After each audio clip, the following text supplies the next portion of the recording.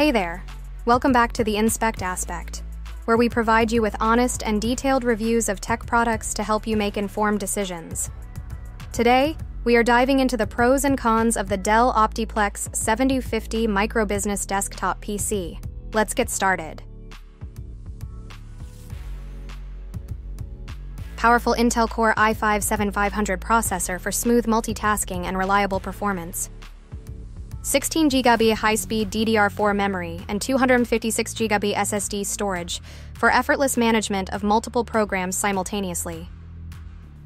Various ports including USB 3.1 Gen 1, USB Type-C, HDMI, RJ45, and DisplayPort for easy connectivity. 23.8-inch FHD monitor with 1920x1080 resolution for clear and sharp picture quality.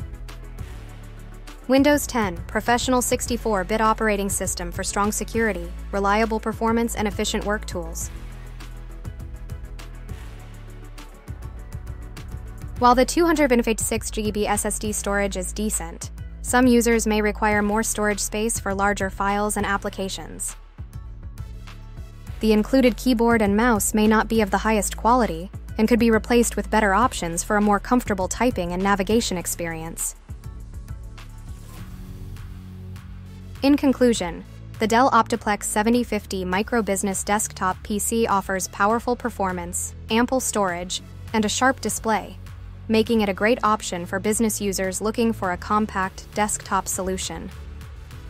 However, some users may find the storage capacity and included peripherals lacking.